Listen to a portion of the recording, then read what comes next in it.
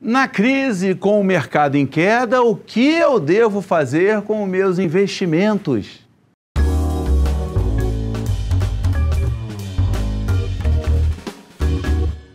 Bom, pessoal, em diversos outros vídeos dessa série eu já comentei um pouquinho sobre isso, mas agora eu vou ser mais preciso. Em tempos turbulentos, com o mercado em queda, uma pergunta que sempre eu ouço é: o que devo fazer?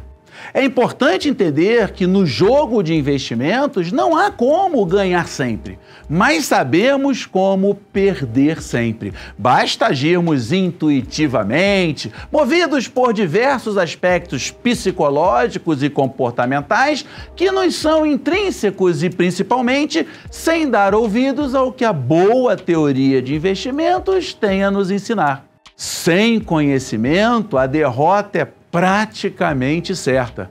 Com conhecimento, não é que você vai ganhar sempre, mas certamente você aumentará bastante suas chances e tenderá sim a ganhar no longo prazo, ou seja, no conjunto da obra. É importantíssimo dizer que ninguém consegue prever com precisão absoluta quais ações vão subir e quais vão descer. Muito menos se o Ibovespa chegou ao fundo do poço ou se cairá ainda mais. Ações que estão em alta atualmente podem continuar subindo, mas também podem reverter a mão da mesma forma.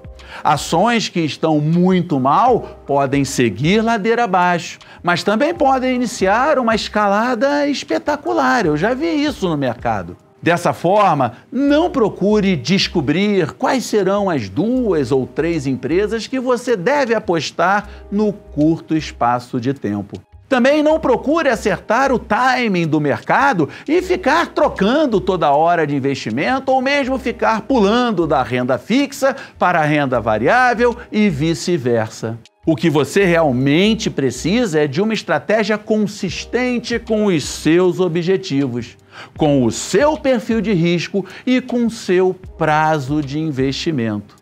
Se você não é um profissional de investimentos, eu desestimulo com veemência estratégias de curto prazo que tentam acertar o momento de comprar ou de vender determinada ação ou fundo, ou o momento de sair por um tempo da renda variável. A própria literatura acadêmica já indicou que essa tentativa acaba elevando os custos e a própria ansiedade do investidor, além de ser ineficaz na maioria das vezes. Isso se explica porque você corre o sério risco de perder uma retomada ou trocar na hora errada.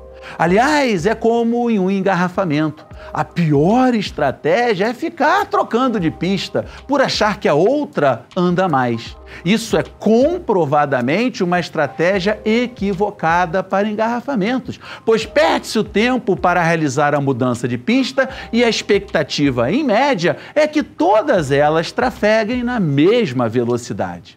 Muitas vezes, um momento de forte turbulência pode indicar que sua estratégia não esteja adequada para a sua tolerância a risco e que, portanto, precisa ser repensada.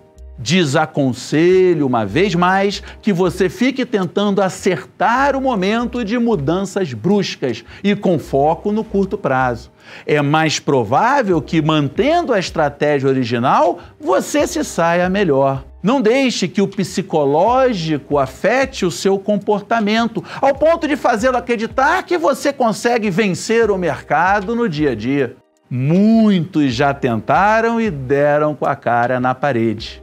O foco precisa estar na estratégia e no longo prazo.